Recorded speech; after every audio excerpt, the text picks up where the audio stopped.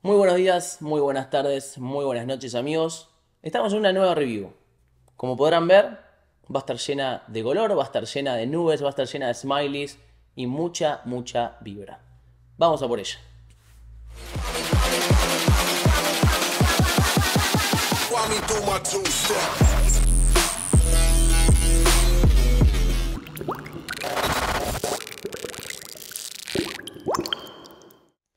No podemos hablar de esta segunda colaboración sin antes nombrar a la primera, la cual empezó todo para J Balvin, este artista de reggaetón colombiano, siempre conocido por lo colorido que es, por lo coloridas que son sus colaboraciones también, la Jordan 1 no fue menos, no fue la excepción. Par súper polémico, con tantos detractores como fanáticos, la realidad es que es la primera vez que pudimos ver este tratamiento en una Jordan 1. Estos recortes, estos colores totalmente estridentes. No para todo el mundo, pero un par que sin dudas armó revuelo. Si quieren ver la review completa se la vamos a dejar por acá arriba, pero lo que hoy nos compete no es esto, sino que es la segunda colaboración y estamos hablando de la Jordan 2, una silueta que hasta hace un tiempo estaba medio olvidada, medio relegada por parte de Nike, por parte de Jordan, pero que el año pasado se vino con todo e intentaron sacarla a flote. Para eso llamaron a J Balvin para que haga una colaboración y siguiendo en la misma línea que la primera, también causó revuelo con esta. Vamos al unboxing.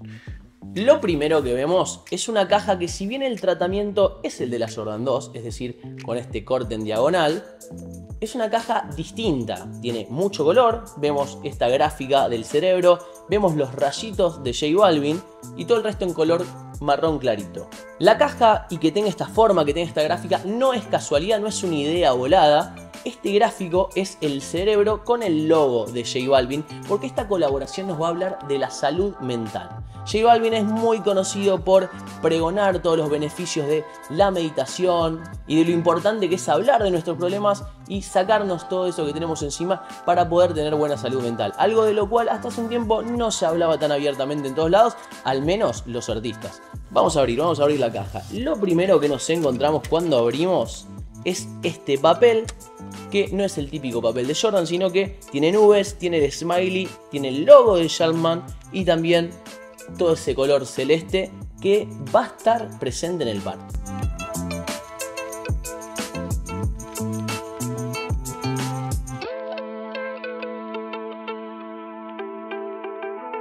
Y aquí tenemos este Jordan 2 que es simplemente hermoso y único. Es muy distinto a lo que habíamos visto anteriormente, pero también es distinto a los demás Jordan 2 que hemos visto.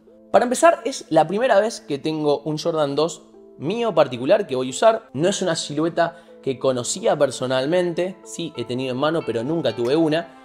Tenía una Jordan 1.5, que es decir, una Jordan 1 con suela de Jordan 2, pero esto así tal como se ve es nuevo para mí. El par está lleno de detalles, tiene un montón de cosas que están pasando y como siempre lo vamos a analizar desde abajo hacia arriba.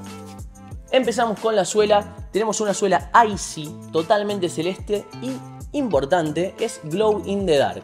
Si bien no es tan potente como otros pares, es decir, como las Nike Dunk SB Mami, por ejemplo, la verdad es que si lo dejamos a la noche y estuvieron expuestos a una fuente de luz, se ve bien y brillan en color verdoso.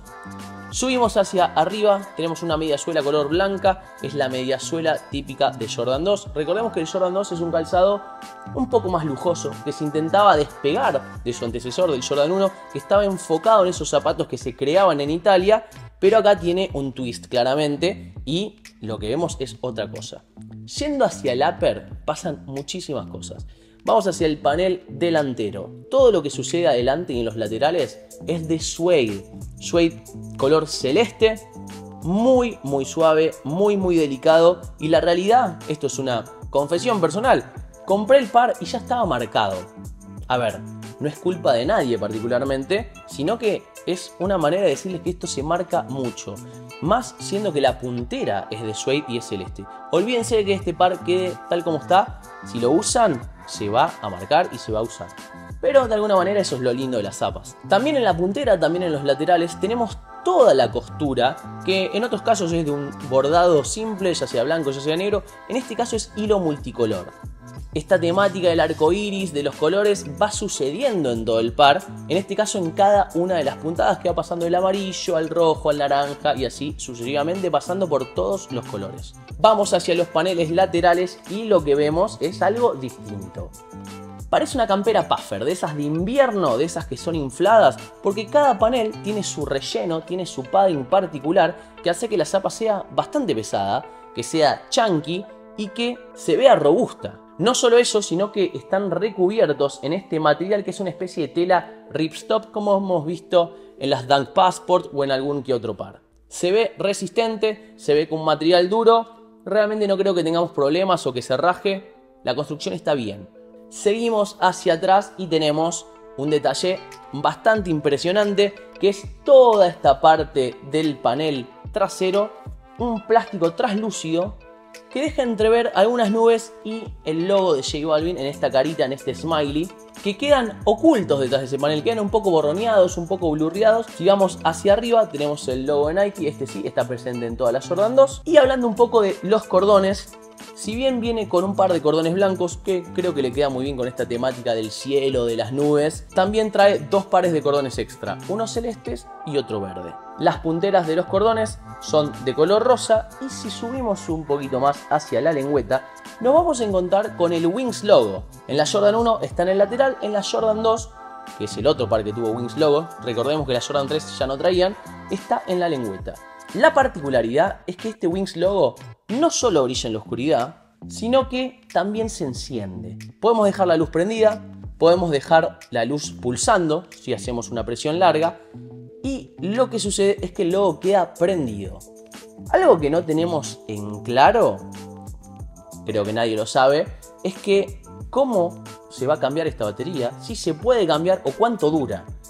Esto, si vemos la lengüeta hacia adentro, además de ver este logo que es como una carita feliz de plástico en color verde, que es el pulsador, no se ve nada más. No tenemos acceso a la batería, no tenemos acceso al botón, por lo cual lo que se infiere es que el día que esto se acaba, se apagó la luz y ya está.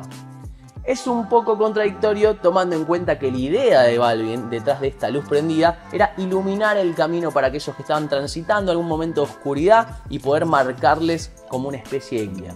Veremos cuánto dura, la realidad es que es un detalle que está bueno. Para algunos le puede resultar un tanto infantil tal vez porque una luz en las zapas, bueno, no es la primera vez que vemos luces en zapas, pero le queda bastante bien, creo que tiene que ver con la estética del par. Lo que sí sucede es que a mucha gente que va caminando se la aprieta solo.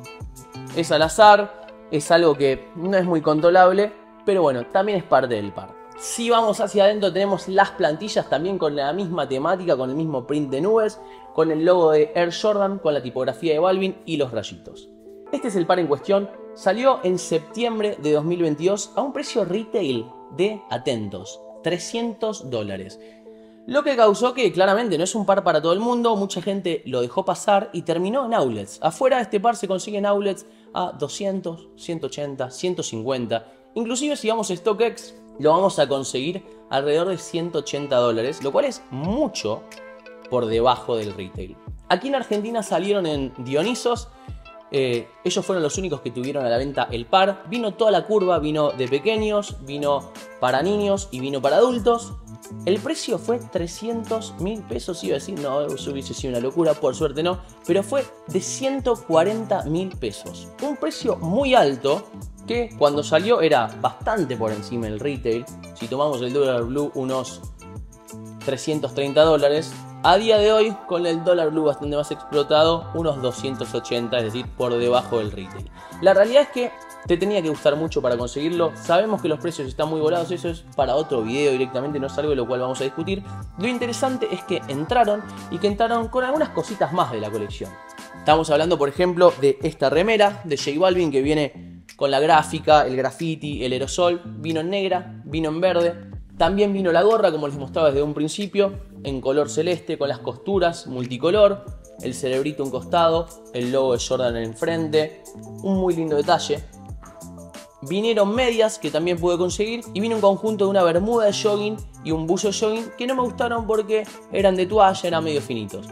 Los precios, como digo, todos bastante altos, acordes a lo que se cobraba afuera, pero puntualmente lo que opino es que está muy bueno que hayamos podido tener una colaboración de ese calibre aquí en Argentina. De nuevo, tal vez no para todo el mundo, pero el hecho que llegue hace que nos dé esperanza y que sigan entrando otras cosas.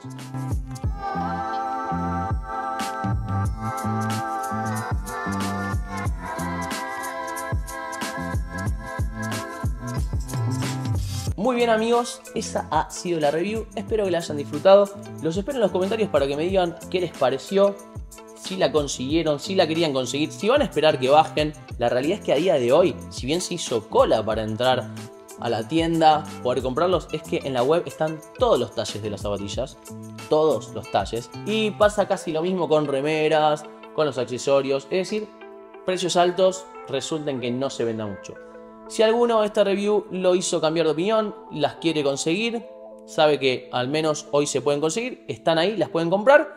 Y si lo convenció de que esto realmente no vale la pena, mejor. Siempre van a venir más cosas, al menos eso es lo que esperamos. Muchas gracias por haber llegado hasta acá. Como siempre, nos vemos en la próxima.